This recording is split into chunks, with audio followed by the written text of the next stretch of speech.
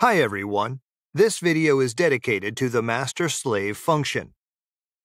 The master-slave function allows you to open positions on multiple accounts with one click. So first, to set up our accounts, let's open the position control window and go to the Accounts tab. Double-clicking on the account name opens a window with the settings for this account. Here, in the Role field, we need to provide a status to our accounts, the master or slave. The master account is the primary account, and all trades from it will be duplicated to all slave accounts. So, for the Test 1 account, we will select the master role, and for all other accounts, we will choose the slave role. Thus, all trades from the Test 1 account will be duplicated on all the slave accounts. Next, we move on to the trading module. Note that the master-slave function also works in the trading DOM.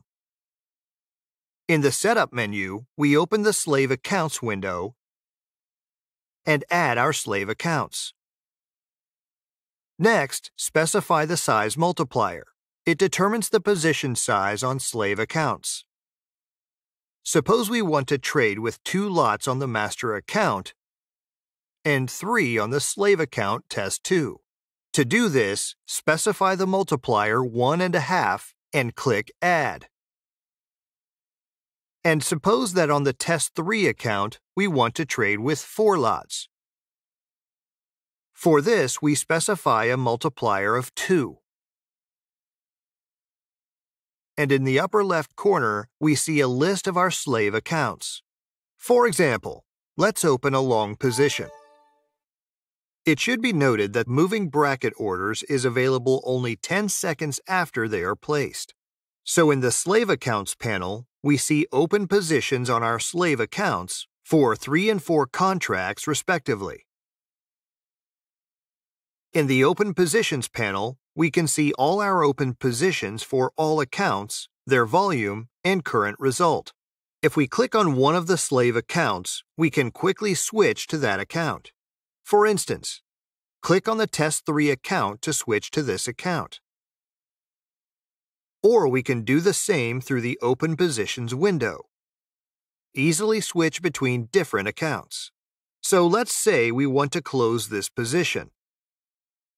But we only want to close it on the master account and the Test 2 account.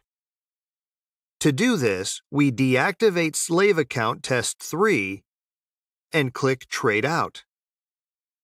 We should note that the Trade Out All button does not work on master accounts.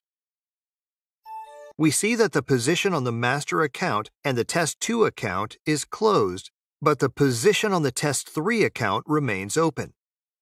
That's all. Don't hesitate to get in touch with our technical support. You can find contact information in the description below the video. Thank you for your attention. Have a nice day.